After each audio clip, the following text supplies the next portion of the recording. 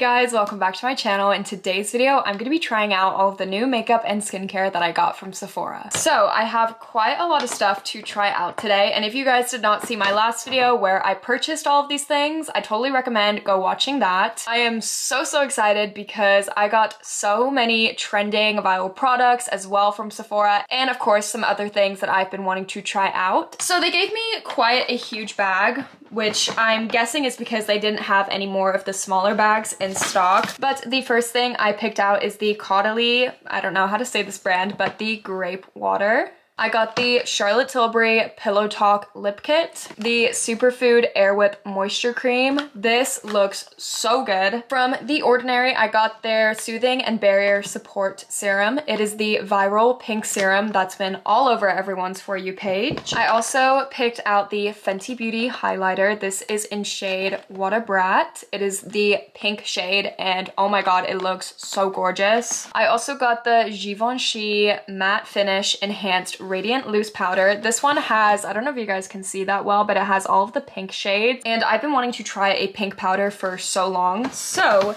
I really hope I like the look of a pink powder on my skin. But next up, we have the Lawless Forget the Filter filler overnight lip plumping mask. I also got a mini hourglass concealer just to try out. I was gonna get the big size, but I also don't really know if I'm gonna end up liking it. So I'd much rather get the little size to see. And then from Makeup by Mario, I got the Soft Pop Blush Stick. This is in shade Plumberry. And again, from Makeup by Mario, I got their Soft Sculpt Powder Bronzer.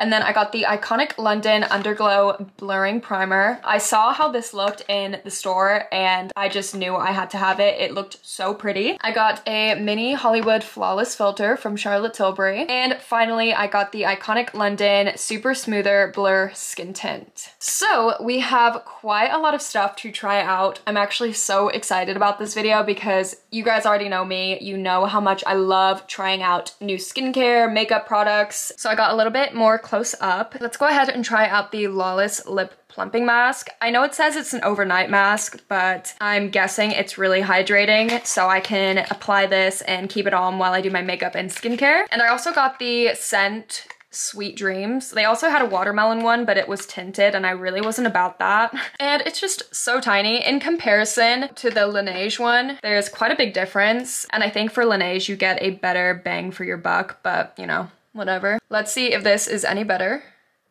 That is so hydrating. I love that so much. It almost smells like a Twizzler or like some kind of licorice. We're gonna go ahead and leave this on and it also says it's plumping so we'll find out later if it's gonna end up plumping my lips. And now we're gonna go ahead and go in with the grape water. There's no directions. I mean, I don't think I need directions. It's literally a face sprayer thing. Okay, well, that's that. Uh, smells a little funky, not gonna lie, and it just kind of feels like water. I don't really think you're gonna see any kind of results straight away, so it feels really cooling though, and I do like that. So now we're gonna go ahead and move on to the Ordinary Barrier Serum. I've seen so many people talk about how hydrating it is and how good it is when it's put underneath makeup. I feel like who could hate a pink serum? Okay, so far it feels very hydrating. There's not really much I can say about it right now because these are the kind of products you have to use over time to see any kind of results on your skin. But so far it feels extremely nice on my skin. And next up is the Youth to the People Air Whip Moisture Cream. This I am so, so excited about. And of course I got a little mini size. I always get the mini size in moisturizers. I never just get the big size straight away. So this is an extremely thin moisturizer. I do prefer the thicker ones, but I feel like this would be a really good base before makeup and it doesn't feel heavy or anything, which is what I also like. And my skin feels really, really nice right now. So I don't have any complaints, but it's also not the best moisturizer I've ever tried, but it's good. And the first product we're applying is the Iconic London Underglow Primer. And look how gorgeous. And I like how it comes with a little dropper. And apparently it illuminates your skin skin as well. It smells a little bit like chlorine, but it's not too bad. Wow, my skin feels fake almost. Wow, okay. And it adds a very, very subtle glow, which is what I like. We're gonna have to see how makeup goes on top of that because if the makeup starts to pill, there's an issue in one or more of these products. So let's hope that that's not the case. And now we're gonna go in with the Charlotte Tilbury Hollywood Flawless Filter. I am so shocked that this is my first time ever trying this. I held off getting it for so long. I actually was not gonna end up getting this, but I was gonna do a video where I compared the dupes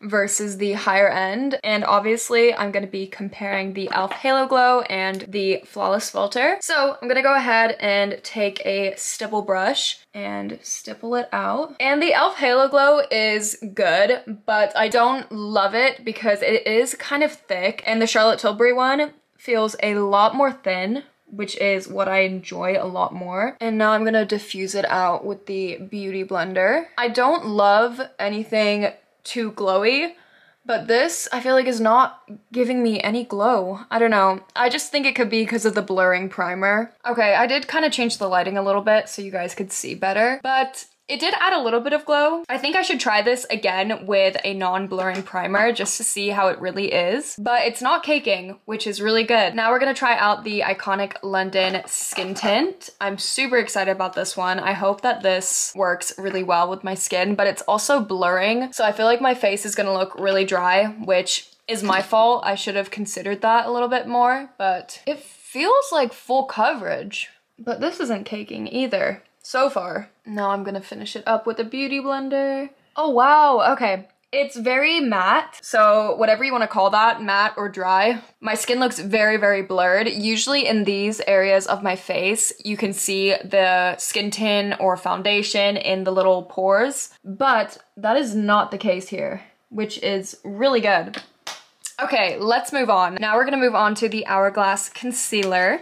I got the shade Cream or Creme however you want to say that. And I've heard that this is the best concealer and we're definitely gonna find that out. Ooh, okay. It feels almost exactly like the Charlotte Tilbury one. And you guys know how much I love that concealer. Okay, so far, I love how creamy it is. Everyone says how easy it is to blend and how hydrating it is. And they were right. Wow, that just, did you guys see how seamlessly that blended in? That is so gorgeous. Ugh. But now we're gonna move on to the Givenchy.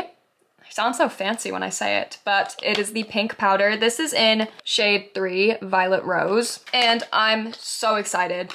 I see this powder literally more than I see anyone in my life. It's all over TikTok, everyone talks about it, and I was never gonna get this originally just because I already found my powder that I love, which is the Huda Beauty one, but I decided that I wanted a pink powder and they didn't have the pink Huda Beauty powder in stock. So I settled on this one. I'm gonna grab a clean powder puff and I'm just gonna set my under eyes for right now very, very lightly. I always set my under eyes first because they are always the first thing to crease no matter what. Um, okay. I mean, it's a good powder.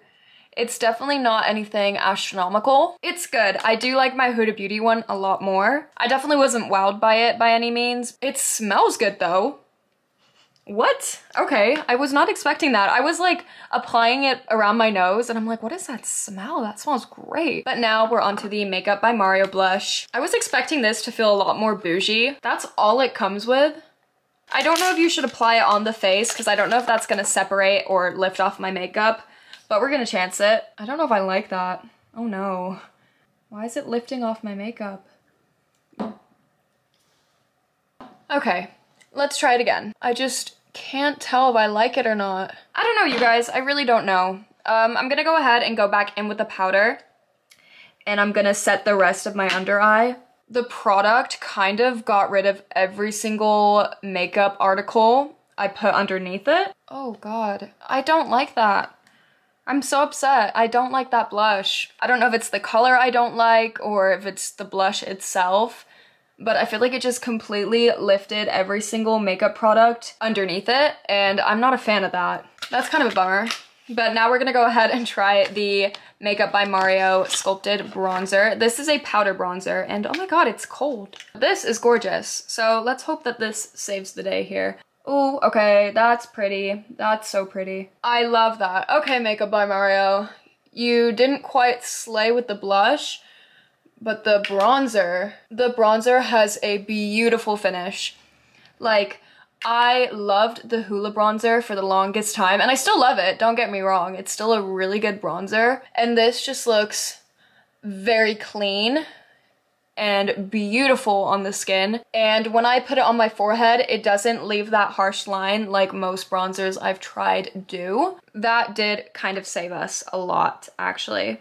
So now I'm gonna go ahead and bake. But recently I've been really into baking. I used to never really bake my face that much. So I finished up with my brows. Now we're gonna go ahead and use the Fenty Beauty Freestyle Highlighter. This is probably one of the products I'm most excited to try. I've been eyeing it for so long and I never got it and today I'm just so happy I have it to try. I'm using a fan brush because I do like applying my highlighter with those. Wow, do you guys see that? That is so beautiful. Okay, I'm going a little overboard, but it's fine. And sometimes pink highlighters are a hit or miss, but I feel like this is a complete hit. It's very glittery, but it's also not just glitter, if that makes sense. And the glitter finish is so pretty. I usually don't even like glitter highlighters, but this isn't really too glittery. Like it has like like the glow and the sheen and also the glitter as well. I'm so, so obsessed. I'm gonna go ahead and also do my mascara off camera real quick, but this is definitely one of my favorite products I've tried throughout this whole video. I did a very light mascara look, but I've been really into the minimal mascara recently. I don't know. But now we're gonna go ahead and apply the Charlotte Tilbury Pillow Talk Lip Kit.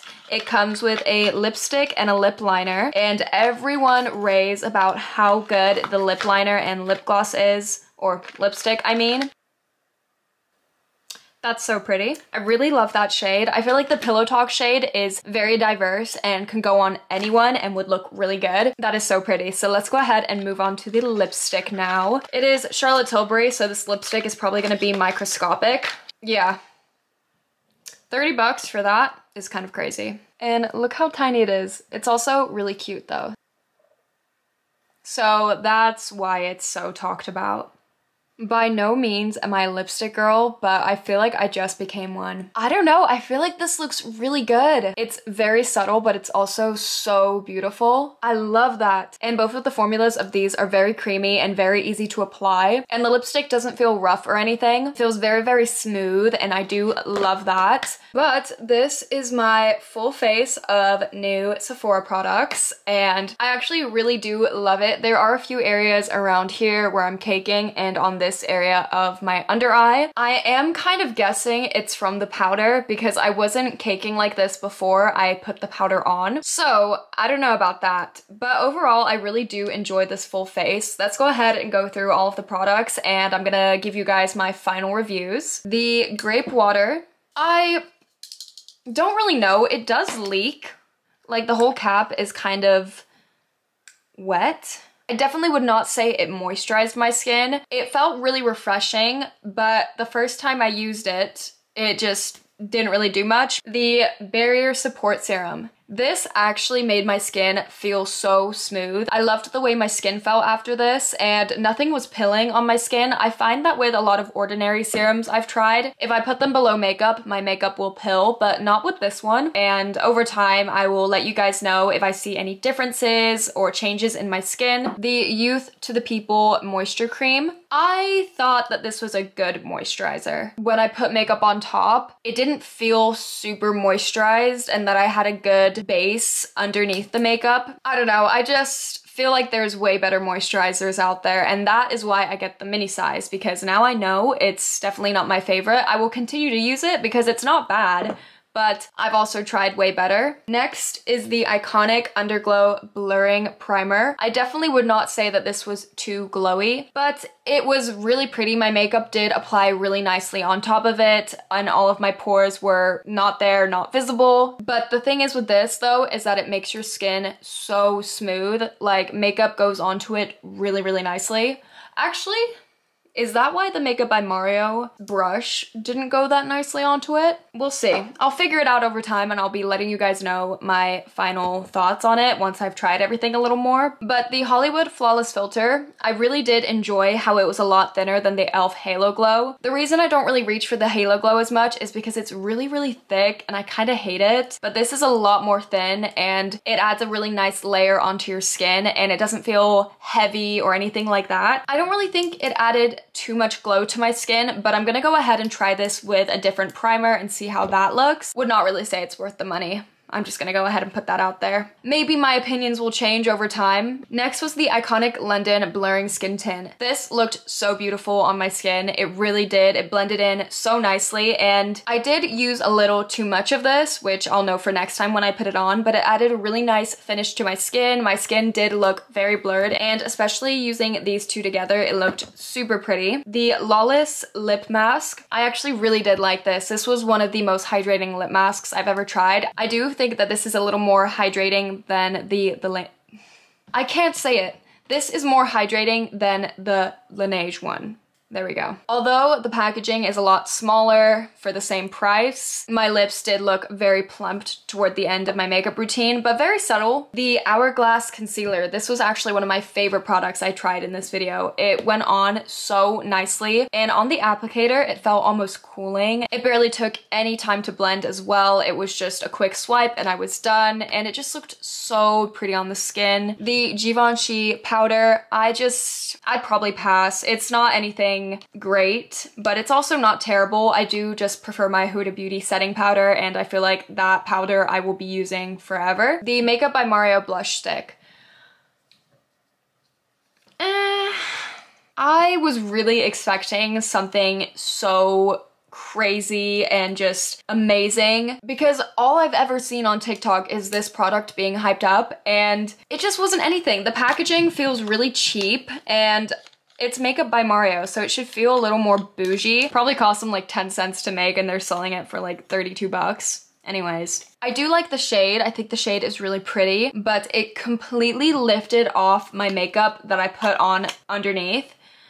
It just wiped everything off. The Makeup by Mario bronzer. This was the powder bronzer and I loved this. This is so good. This is gonna be my new everyday bronzer. I just love the way it blends. It looks really pretty on the skin. It doesn't look muddy. It just looks really gorgeous. So this is a 10 out of 10 from me. The Fenty Beauty highlighter, of course, 10 out of 10. You guys saw how pretty it looked on the skin. It doesn't leave a shadow or anything. It just looks so nice with the light shining on it. And then finally, the Charlotte Tilbury lip products. I absolutely love these. These are so, so beautiful on the lips and you guys can see how pretty my lips look right now. I love the color. But yeah, if you guys have any more video ideas that you all want to see from me, go ahead and comment them down below because I read all of my comments. I love to hear what you guys have to say, but I love you all so, so much. I hope that you all have an amazing rest of your day and I hope to see you guys all in my next video. Bye!